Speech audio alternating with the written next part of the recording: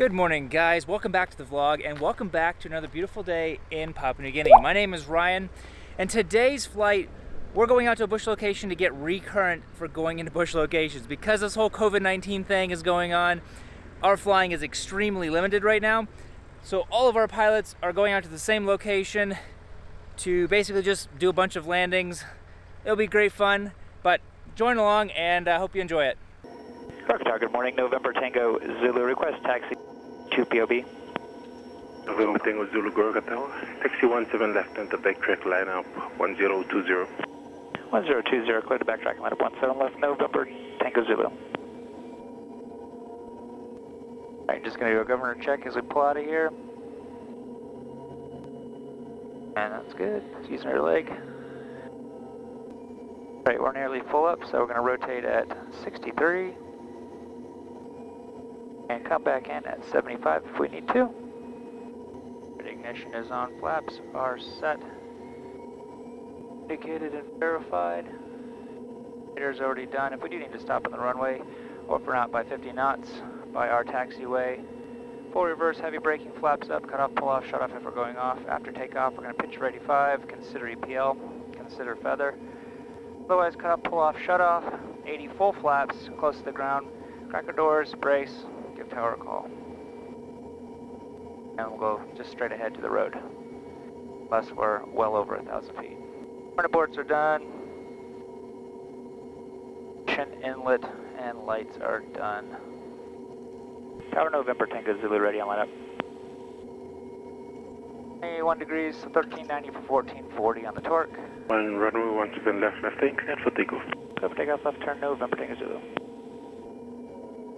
Alright, harnesses idle and go. Done. Mission condition flaps. Pull in harnesses. Tate 63, 1390.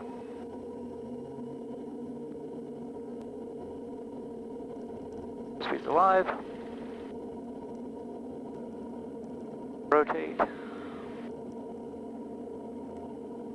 And we are heavy. At above 85 knots, I'll reduce the flaps to 10 degrees. Looks like there's a bunch of those clouds right there. I think it's going to be pretty nice above though. Could be. 90 degrees, air prop back to 2000 RPM. ITT to 720 for our climb out. Alright, put our bypass on and ignition is off. Rocket Tower November Tango Zulu departed time 17, tracking 151 on climb that above 900,000, estimating at time 45. November Tango Zulu, just confirm not above 900,000. Hey, firm 900,000, November Tango Zulu. Contact must be 120766221 per mile. 120766221 November Tango Zulu. So I'm just going to plan on just going right through that to that low blue sky is up there because I'm not going to be out able to out climb that today. Sounds good. Just going to go ahead and bring it back to cruise because not really climbing.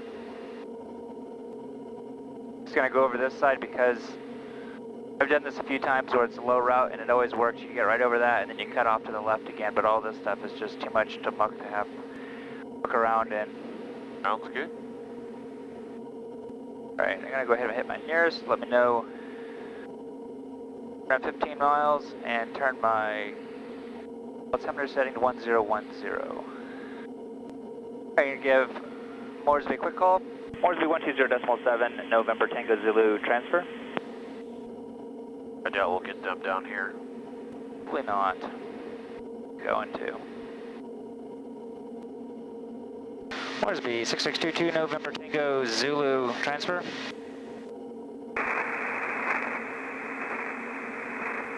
Moresby 6622, November Tango Zulu transfer. Was that them? I don't. Moresby 1207, November Tango Zulu. Looks like it clears up right past this little hill right here. Yeah, it's gonna be nice. Let's see what other. Oh, this doesn't have the radio frequencies card anymore. Oh, that's knocked- weird. Must have got knocked off. Uh, 6622. Moresby 5565 November Tango Zulu transfer.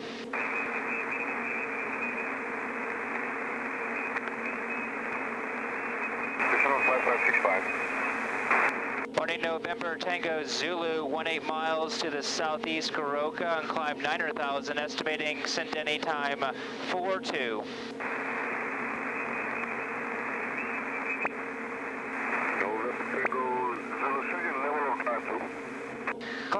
Climbing to 900,000, November Tango Zulu. November Tango Zulu, Prophet 9,000, Air Heritage 1010, North of this morning. Good morning, Ryan. Good morning, 1010 November Tango Zulu. I don't know how he knows my name unless he watched one of my videos. I just bumped up my ITT up to 720 for my climb. Now that we're at 8,000, we've got another 1,000 feet to go.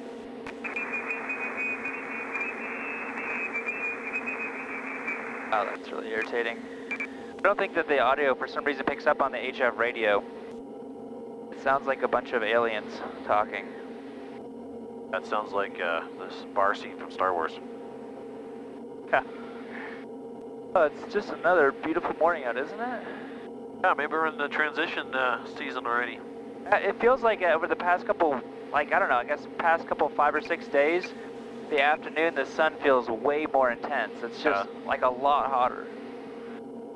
Nice, this, this rainy season Because it's, wasn't, actu- it's 'cause it's actually there. this rainy season wasn't nearly as bad as last year. My goodness. I had so much more weather last year to deal with. This year, I think I've had maybe one time where there was no other options to go through it, but last year it was like maybe 10 times that was just way more stressful. This isn't aiming for the Mariwaka Gap or anything. Didn't have the Mariwaka Gaps saved in it. It's alright, I can see it. Yeah. Um, it doesn't have the Mariwaka Gap saved in it? Oh, in the flight plan. Like nor- the other Should. aircraft usually, well, when I brought it up, it didn't have it in there. I'm gonna have to go back and change a few of those because I think this actually, I think, let me just see. Um, yeah, see this one's the one that flips off Yeah. and I wasn't able to finish it, so there's a few of them that I didn't get quite in. A lot of the WeWacked ones aren't even in there at all. So, although Kilo stopped doing that, it was also doing that, so I need to go back and finish putting those in. Alright, just bringing my torque back down to 1250 foot-pound of torque, now that we're leveled off at 900,000. It's gonna bring my ITT back down, usually around 680 to 685, but hey, in this airplane it's a lot cooler. Let me bump it up to 1250 and see. Uh, 673, this one's a little bit cooler than the others. Right, I'm gonna go ahead and bring out the iPad. And brief while we have a spare second. We're gonna go ahead and bring up the ForeFlight app. Open the strip chart.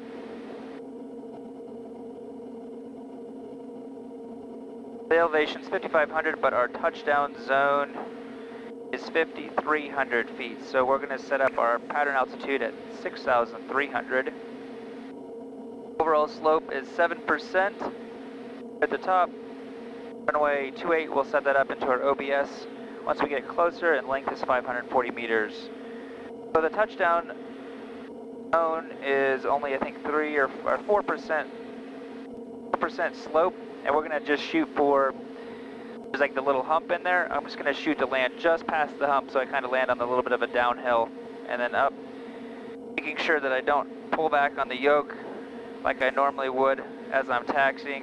Last time, I had 'em- I asked them if they would fix it, but there was a couple of like grass clumps, and I hit one of those as I was taxiing, just like a fast taxi right after I just gone out of reverse. It, and the whole front end probably popped up about four feet off the ground. I thought I was gonna have a tail strike on it.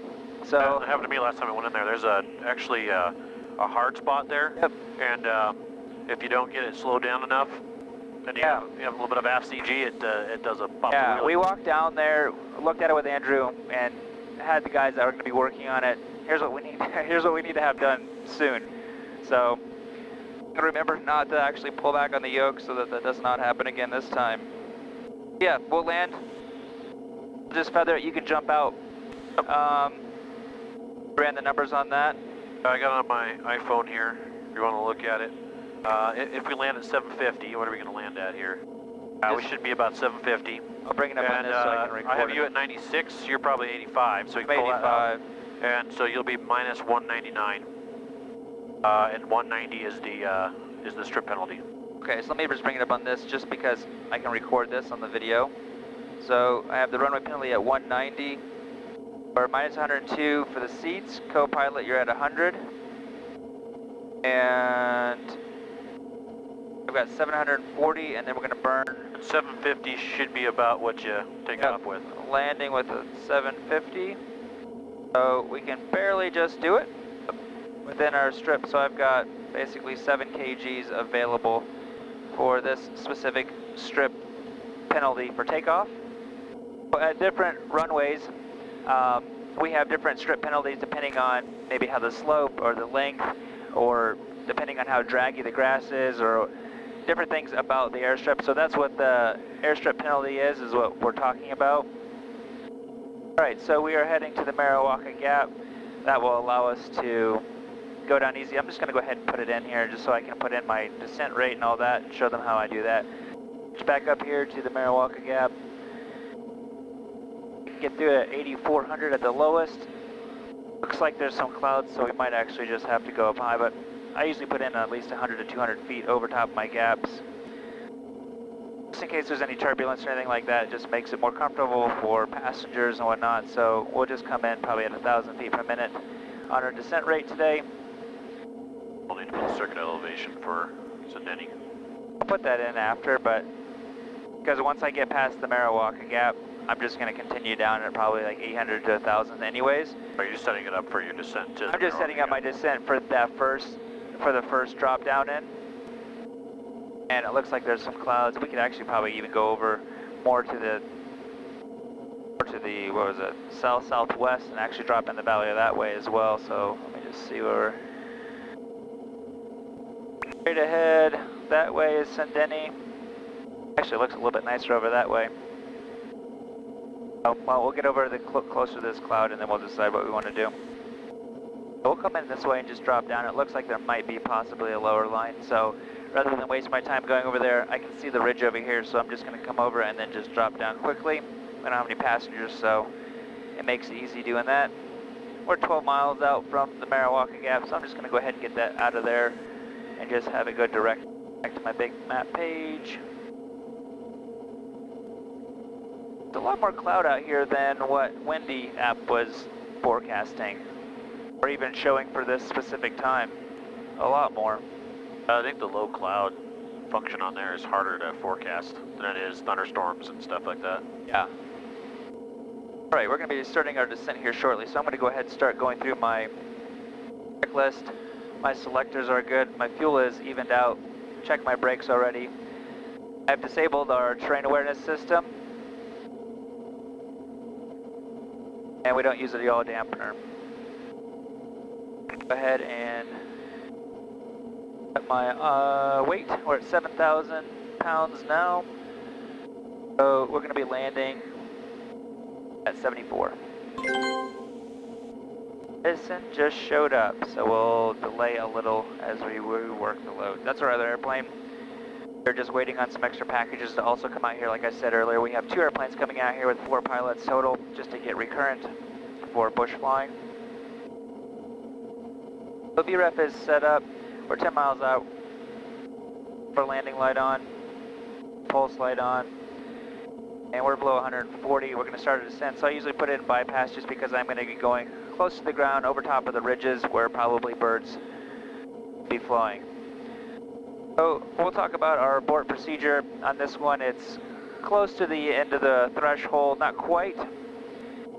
And we're going to power up 20 degrees of flaps straight ahead to the end of the runway and then make a sharp right hand turn back out, resetting our power up to 740 for the climb out. Alright, autopilot is off. Might be able to get everything done before they even arrive. If uh, we just dump it all real quick and we can just be totally out of the way for them. We can do our go arounds. Well, you did your go around this month, right? I did my go around. I'll Yep. just do a go around at Goroka. So do you still want to just jump out? I'll, just. I'll jump out. You get yours done. We'll quickly unload the cargo, and we should, I should be able to get mine done actually before they arrive, Yeah, that sounds great. and uh, before the winds pick up. I'll, stations, Kodiak November Tango Zulu, 900 miles to the north, 900,000 on descent, circuit time 401. Right, so I'm going to hit my OBS button here and move this to runway 28. That's just going to draw a nice line there to show me where my runway is at all times. Got one more ridge to head over top before we start our descent. 6,300, like I said earlier, is going to be our pattern altitude. We're going to want 74 on final, 84 on base, 94 on downwind. Alright, we'll just start reducing our power so we can make a decently quick descent down to 6,300. Just on the other side of those mountains right there. Our prop forward just to help us slow down a little bit more and keep our speed lower in the descent. I call and cancel our SAR for now won't be able to get him down there probably. Orsby 5565 November Tango Zulu in the circuit. Cancel SAR.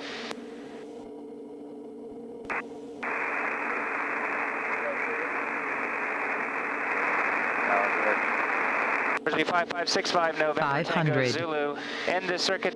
Cancel SAR.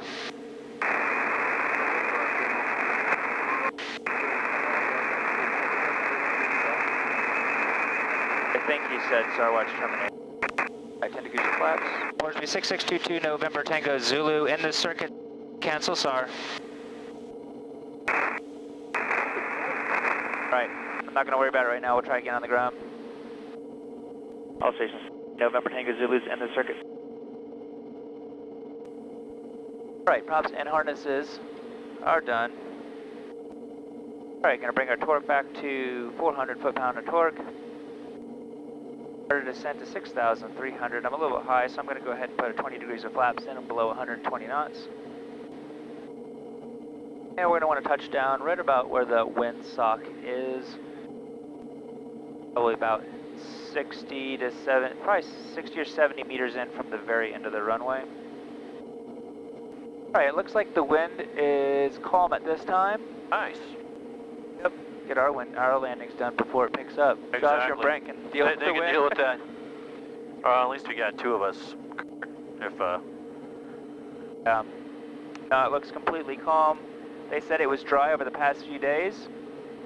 Nothing's on the runway, no kids. I don't see any animals, dogs, or anything like that. We're approaching 6,300. I'm gonna set my bug up here to make me nice and parallel. thing I started doing is pulling my coffee mug out of the cup holder. Oh, so it doesn't bounce I out. had it jump into my lap one time. Alright, at one mile out from it, I'm going to turn my downwind, shooting for 94 knots and 6,300 to beam the numbers. At 20 degrees of flaps, which is when normally I'd put this in and beam the numbers. Returning final at 5,800, turning base at 6,000. There's 94 knots, and just lining up parallel with the runway at this time. I have 11 knots off of my left wing at this altitude. Right at this next runway up here, we're going to make a, our base turn at 6,000 feet. Heading for 84 knots.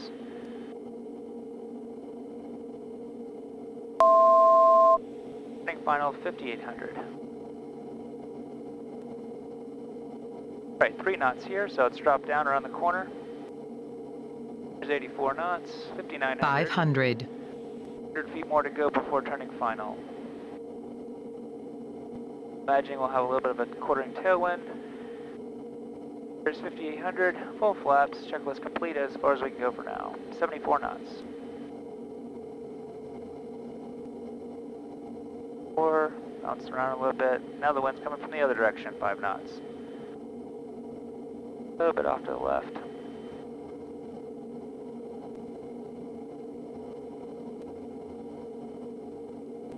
We've got 600 feet on our descent, looking for 74. 500, Up uncommitted, we're very heavy today, so little tiny bit low. At 74 knots. Six knots on our left. I'm calling committed at this point. Committed to land. Below sinker. 500.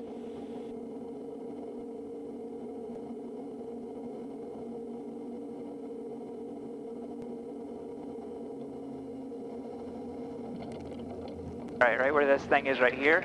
Oh, all right, I'm showing you. right there is where I hit last time. And there too. Yep. All right, low idle, flaps at 20. Go ahead and, uh, Line up the top and I'll jump out. okay.